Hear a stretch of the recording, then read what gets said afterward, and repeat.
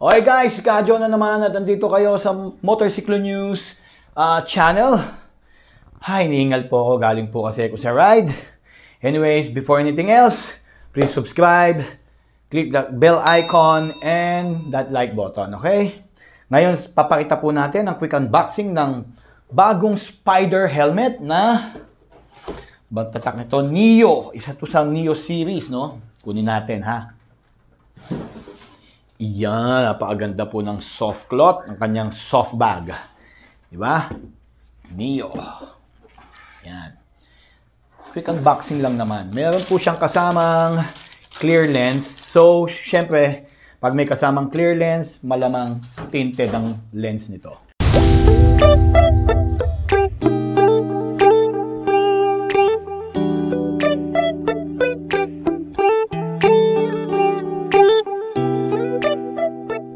Buksan natin. Yun, oh. Hmm, may bago. Yan. Diba? Parang dating ang ano to ah. Spider-Man. Oo nga, nakalagay. Spider. Eh, spider naman talaga to eh. Ayan oh. Tingnan mo. Merong emblem ng isang parang venomous spider. No? Parang si Venom. Anyways, ito yung Fury nila.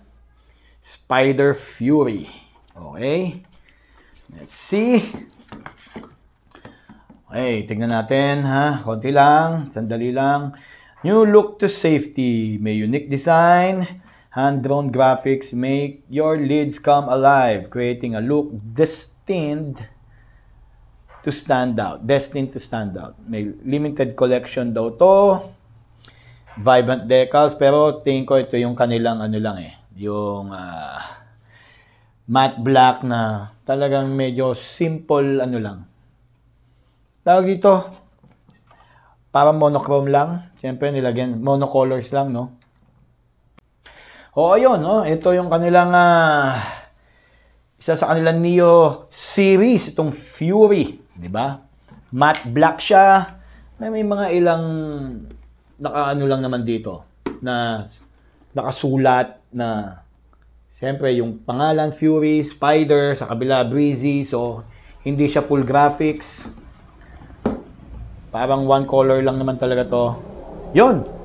Tapos Alright, tapos. Anyways, tingnan natin, no? ECE na siya, ang kanyang uh, quality, ang kanyang safety quality safety standard, ECE. Of course, syempre, may ICC. Passed na po ang ICC nito. So, paniguradong maganda ang quality nito. Pasadong pasado. Pati ang kanyang safety standards. Panalo din. Okay? So, nakikita nyo naman. Meron siyang spoiler dito. Ang ganda. Tulis na tulis. Parang ang tulin-tulin ng takbo mo rito. Diba? Kahit naka 100cc ka Anyways, okay, okay siya. Yan. Tingnan natin, mabuti. Yan ang panglabas. Okay, tingnan natin muna ang kanyang itsura. Alright, nakita nyo yun? Okay, ito makita nyo. Tingnan nyo muna ang palibot, okay? Front view, side view, rear view or ang butt view or ang back view. At yung kanyang right side view, panalo. Yan, okay. Ito yung kanyang vent, air vent sa taas. Ramdam ng inyong ulo yan. Yan. Okay. Tapos ito naman yung kanyang vent dito sa may chin. Ano man yan, oh? Ayop, di ba? Yung pasukan ng hangin, cool na cool. Panalo. Yan. Tanggalin natin ang sticker, guys. Makita natin yung kanyang visor. Cool na cool na. Chrome. Naka-chrome visor siya, eh, oh. Look at that. Yeah, boy. Yeah, boy, yeah, boy, yeah, boy, yeah, boy, yeah, boy, yeah, boy. Okay, lagay lang po natin sa box. Nice, di ba? Kaya tignan nyo yung spoiler, di ba? Oh, panalo. Look at that spoiler. It's spoiling me. And that Venom. Si Venom ba yan? Ewan ko. Siguro, no? Yan, no? Ah, tignan nyo. Ito, this one, this one, this one, yan. Yan, at uh, yung kanyang bigat. Actually, magaang naman siya. Maganda sa long rides to. Yan. Diba? Buksan natin, ha? Okay, di ba? Rock and roll ba? Rock and roll. Nice.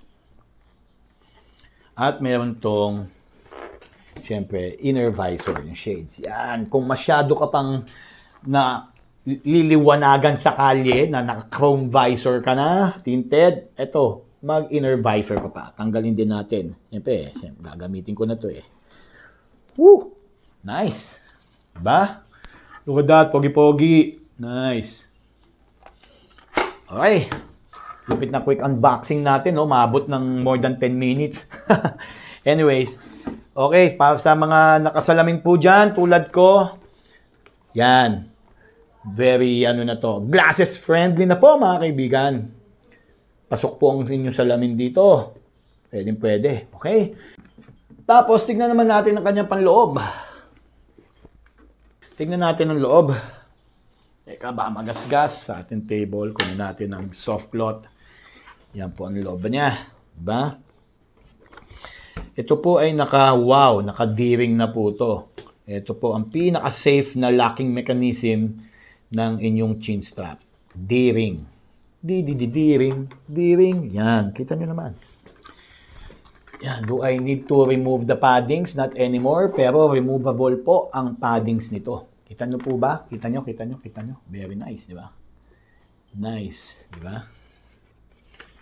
Whew. Alam, medyo nakaangat na itong... Yun. Ah, okay. Pwede palang pindutin yun. Shot, no? Galing, no? So, natatanggal to. Alright, tama. You can remove this. To clean, kung ba, hugas, ah, lilinisin yung helmet nyo, very easy. Ayan, meron din pong ah, guard dito para ah, hindi pasukin ng ano ng mga alikabok ang inyong mukha sa loob. Beautiful. Di ba? Ang ganda naman. Large size po to. And may provision po ito ng intercom nyo. Yung helmet communicator. O, hel- helmet intercom. Yung communication nyo. Siyempre, yung mga Sena. Yan. Yung mga Fredcon. Yung mga Jabber. Yan. Pwede nyo dyan ilagay. Yon, ang quick unboxing natin dito. Isusot natin, okay? Wait lang. Okay, sukatin na natin kung maganda nga ba, komportable nga ba yung mga pads nito sa loob. At saka, okay ba sa ating mga skin? Alright. Let's wear this large size helmet. Hmm. Pasok agad. Walang virgin uh, moments. De, joke lang. Kahit pasok agad to sa large size ko, oh, fit na fit pa rin. Safe pa rin po to. Okay, D-ring natin. Madali lang naman po mag-lock ng chin strap kapag naka-D-ring yan. Makasanayan po nyo yan. Yan. Okay. Ganda, di ba? Ganda po ba? Go there. Go there. Everywhere. Mysterious type. Sino kaya yun? Panalo. Ay, siya lang pala. okay, go. Tingnan naman natin yung kanyang ah, inner visor. Yun. Snappy at very good ang kanyang operation, no?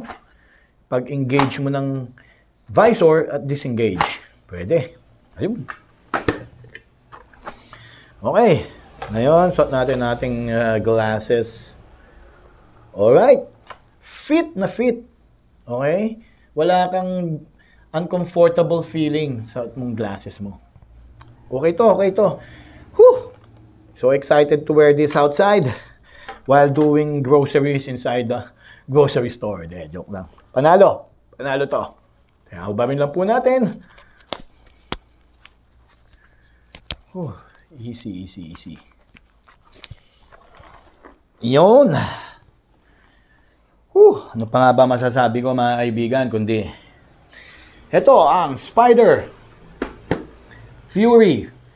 Isa sa kanilang Neo series. Panalo po talaga. Ayos.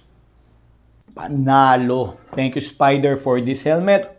We will be more than happy to wear this sa lahat po ng amin pong mga videos, especially sa aming mga reviews. Okay na okay siya. Ang ganda-ganda. Alright. Okay. Nice. So, awesome. Awesomely good. Yon.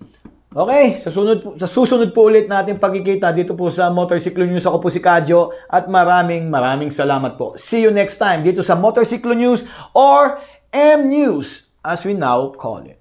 See you guys next time.